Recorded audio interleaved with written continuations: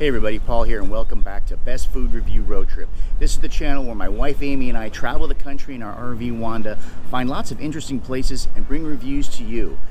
Happy St. Patrick's Day. Today we are in St. Charles, Louisiana and we, well, we got to go to a pub, right? We got to get some Irish food. We found MacFarlane's Celtic Pub. Is it Celtic? Is it Celtic? I think it's Celtic. Anyway, we're going to go inside, get us a Guinness and eat some food. Let's go.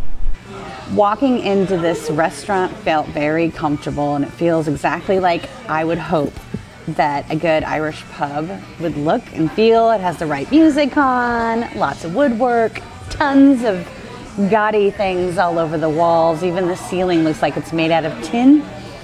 Let's take a look at this menu. I'm actually really impressed with how they've integrated both Irish, you know, traditional Irish fare with some Louisiana flavors. I mean, they've got a ton of options available. Look at this appetizer menu and the dinner menu. It's all over the place, but it looks like they've done a good job in um, combining those two flavor profiles. They also have a pretty nice beer list here. Of course, I made the mistake and didn't specify that I wanted something on draft, which maybe for some of you is not a big deal, but there's something about drinking out of a pint glass. I got the uh, Smithwicks, which I have had on draft. Let's see if it's just as good out of a bottle.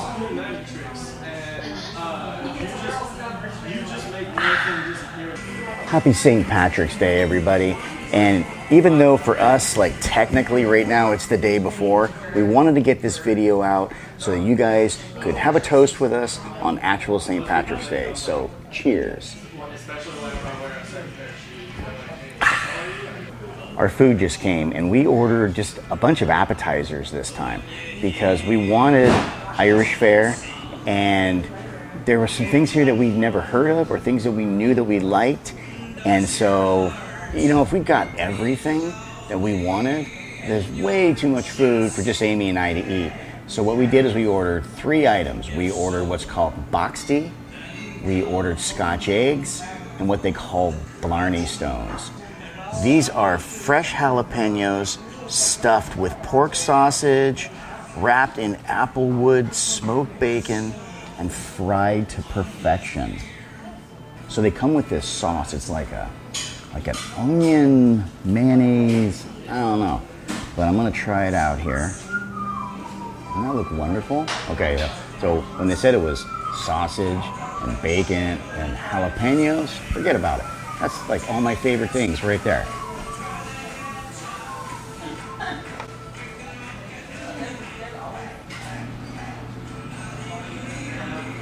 Mm, I'm almost speechless. These are kind of like these things we used to make on football day. We would take like a giant jalapeno, we would put cream cheese and wrap it in bacon and bake it. But instead of cream cheese, they put sausage and fried it. Oh my God. It is wonderful. Now the the jalapeno is not spicy hot. It just has that delicious jalapeno flavor. Mm. That is probably, I'm talking a mouthful, one of the best appetizers I've had since I can remember. That is the bomb. Mm. The next thing we got was the scotch eggs. Now, if you look at our video at the Friar Tuck, they take what they do is they take a hard boiled egg and they wrap it, yeah, wrap it in sausage and then fry that. Once again, some of the best things you can ever eat and fried. All right, so let's take a look at these. As you can see, it's a hard boiled egg. That's fried sausage. And this is the same kind of dip it looks like was on the last one. So I'm gonna try it without the dip first, and then I'll try it with the dip and I'll compare.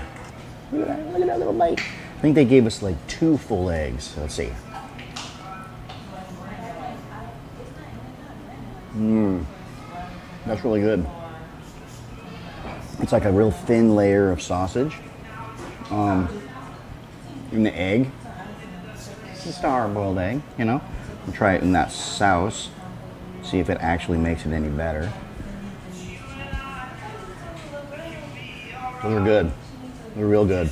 Um, They're not the best Scotch eggs I've had, but to be fair, the last place that I had them, like just piled the sausage on. It was like that thick. It was insane.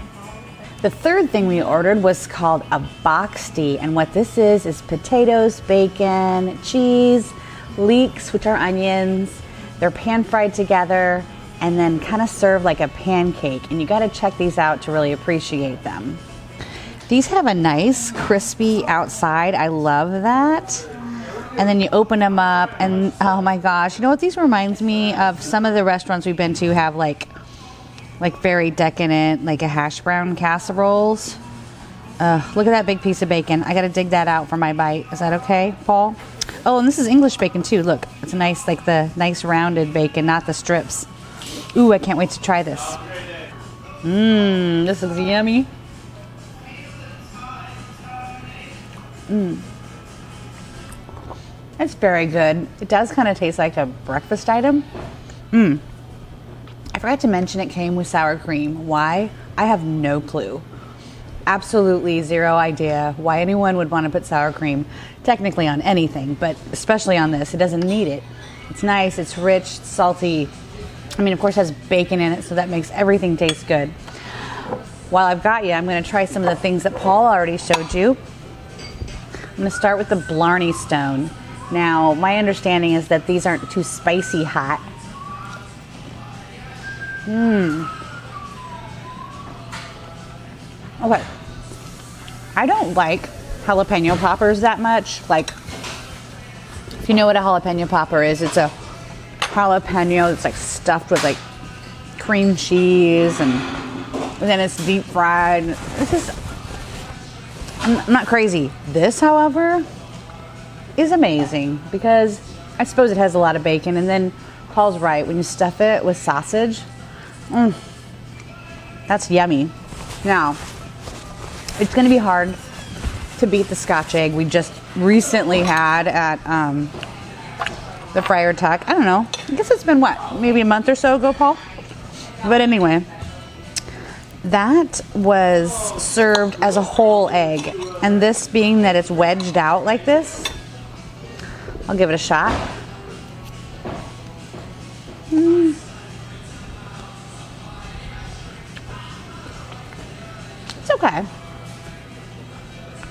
My second bite and some dip. You know, I recall when we had the others, Paul did the whole like, this not so much. I'm enjoying it though. It's very, very good pub fare and it's perfect. A perfect kind of dish to have while you're sitting around with friends and enjoying a pint. Which, by the way, I need to mention, I got myself a new pint. And this is the Ho Hoegaarden. It's a white beer, a wit beer. Let's see how it tastes.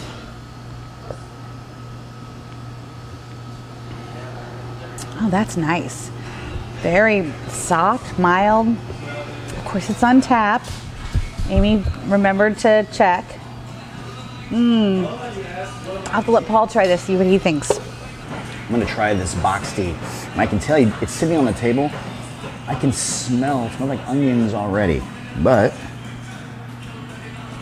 it's kind of, kind of soft and mushy.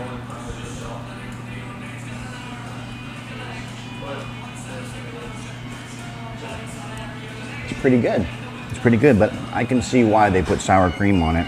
So, you know, Amy don't like sour cream that much. I love sour cream. So I'm going to Put a little bit of sour cream on there. Yeah, I kind of like it better with the sour cream. I see why they do that. That's really good. I would have to say that